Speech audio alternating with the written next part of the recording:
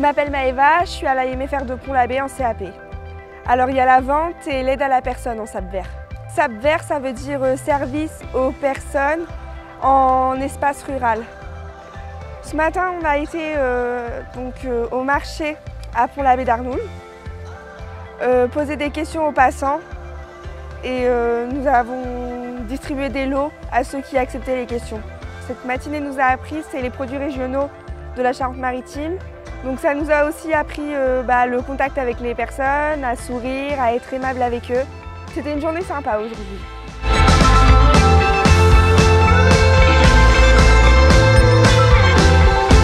Je m'appelle Fadia, je suis à l'MFR du Pont-l'Abbé d'Arnoux. Ce matin, on a fait un quiz.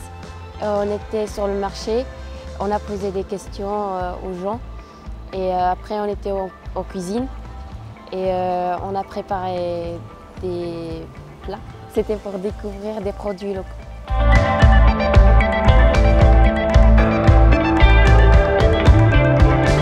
Je m'appelle Chloé Guité, je suis à la MFR de Pont-l'Abbé. Euh, je fais un CAP SAP vert. Euh, j'ai fait de la cuisine j'ai coupé des bouts de jambon pour faire des verrines avec des mojettes, pour travailler des produits locaux. Euh, C'était sympa d'avoir euh, servi les gens et de se faire voir ce qu'on a fait aujourd'hui. Ça m'a appris à parler plus facilement aux personnes.